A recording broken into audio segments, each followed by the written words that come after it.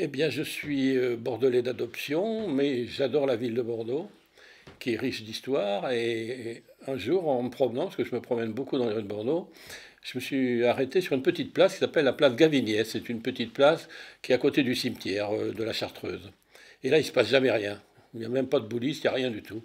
Et un jour, par hasard, j'ai appris qu'il y avait eu des exécutions capitales qui s'étaient déroulées à cet endroit et des exécutions capitales importantes, puisque pour l'une d'elles, il y a eu 20 000 personnes dans la nuit qui attendaient de voir l'exécution. Donc ça m'a intrigué, je me suis dit, tiens, c'est bizarre.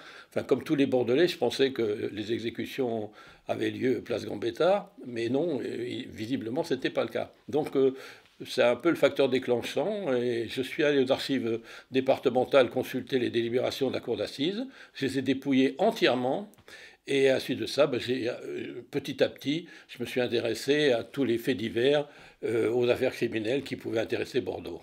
D'abord, euh, comme je viens de vous le dire, je me suis intéressé aux archives départementales, aux archives papier.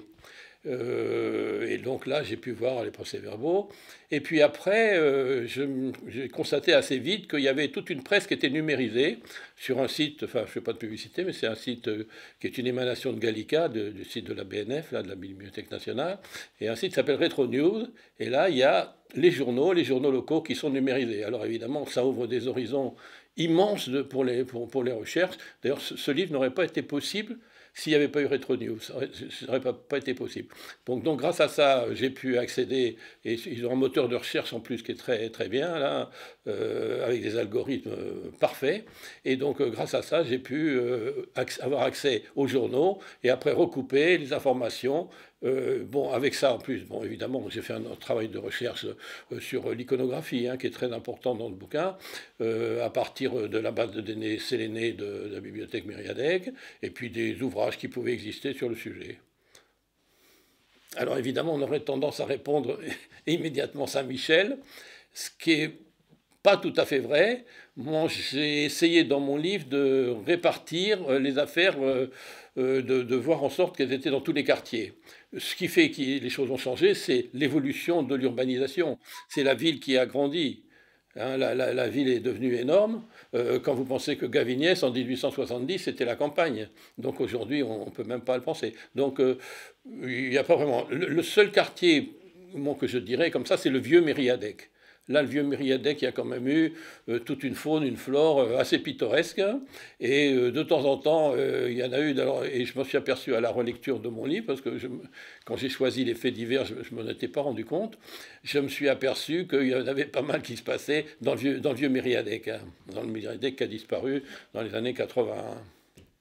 C'est ce, quartier-là, on, l'appelait le quartier réservé, hein, c'est-à-dire réservé à la prostitution. Donc il y avait une prostitution très importante. Et évidemment, tout ça, des tripots, des bouges, des caboulots, euh, des bistrots malfamés, des trafics en tout genre. Parce que Bordeaux était quand même une ville portuaire euh, jusque, euh, enfin, jusque dans les années 50. Hein. Évidemment, le, port de Bordeaux, c'était énorme. C'était un des principaux ports d'Europe. Et donc, qui dit port dit bah, tout ce qui va avec. Hein, euh, une, vie, euh, une vie pittoresque, des, peut-être pas toujours des crimes, mais enfin un certain nombre de, de, trafics, disons. Euh, pour le même crime, à 50 ans d'intervalle, par exemple, on peut voir des jugements complètement différents. Hein. donc ça, c'est pas, pas si simple que ça. Euh, la justice plus répressive, euh, non, ce que je peux dire, c'est qu'elle était plus rapide, ça c'est sûr. Elle était beaucoup plus rapide. Et, en 1810, il y a eu un, crime, le, crime de, Maine, là, dont je parle dans mon bouquin. Et ce crime-là, euh, il, a eu lieu en avril, le type a été jugé en mai, il a été exécuté en juin. Quoi. Alors, aujourd'hui, bon, évidemment, tout ça fait sourire. non, la justice était à mon sens, pas, pas, plus ou moins répressive. Ce qu'il y avait, s'il y a une chose qui est très importante dans l'histoire de, enfin de, des décisions qui ont, été prises, euh, c'est qu'on a eu à un moment donné une, une nouveauté qui a été euh, les circonstances atténuantes, ce qui, ce qui n'existait pas avant. Hein. Donc ça, ça, a compliqué beaucoup les choses. Donc à partir du moment où il y a les circonstances atténuantes, la justice a été difficile, plus humaine, mais pour les crimes de ce genre, soit c'était l'exécution, soit c'était le, bagne. Et le bagne, c'était terrible. C'était, on disait c'était la, guillotine sèche. Donc ça voulait bien dire ce que ça voulait dire. Ceux qui étaient envoyés au bagne, c'était une épreuve euh, considérable. Donc euh, voilà, donc moi j'aurais du mal à, apprécier, euh, à, apprécier la, sévérité de la justice. Je ne m'y attendrai pas. Je raconte une cinquantaine d'anecdotes, hein, dans mon, enfin d'anecdotes ou d'histoires ou de faits divers, disons parce que ce n'est pas tellement anecdotique pour les pauvres gens qui ont été euh, très passés. Euh, là-dedans, il y en a une dizaine, sur les 50, il y en a une dizaine qui ont eu un retentissement très important, un retentissement national.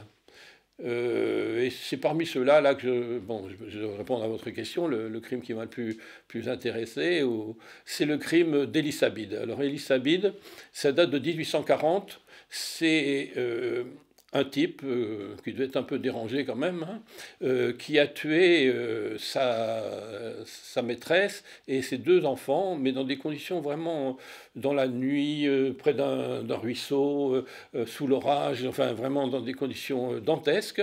Et ce type-là, il avait été séminariste et il avait écrit un livre, l'histoire de la religion expliquée aux jeunes enfants. Donc il avait un passé un peu trouble et il a défendu une idée à son procès, une idée invraisemblable. Hein. Il a dit j'ai fait le, crime philanthropique, c'est-à-dire que je les ai tués. J'ai tué les petits là pour éviter qu'ils souffrent euh, plus tard. Donc il, était. Alors ça a beaucoup beaucoup impressionné les gens. Et là là il y a, une presse, il y a, il y a beaucoup d'informations. C'est un, crime qui est beaucoup renseigné. Alors ce type-là a été euh, euh, guillotiné place de la Victoire, qui s'appelait pas la Victoire à l'époque, hein, qui s'appelait place d'Aquitaine, je pense, ou place Saint-Julien, enfin il y, a eu, plein de noms là. Donc il a été euh, guillotiné là, devant 40 000 personnes qui étaient venues dans le petit matin pour assister à son supplice. Et donc voilà, celui, qui m'a le plus marqué, c'est celui-là. Il y aurait de quoi faire un livre sur, sur, sur ce personnage-là.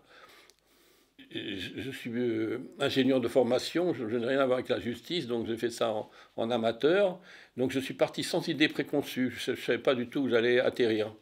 Et euh, j'ai découvert des choses. Et il y a deux ou trois choses là qui, qui m'ont surprise, disons.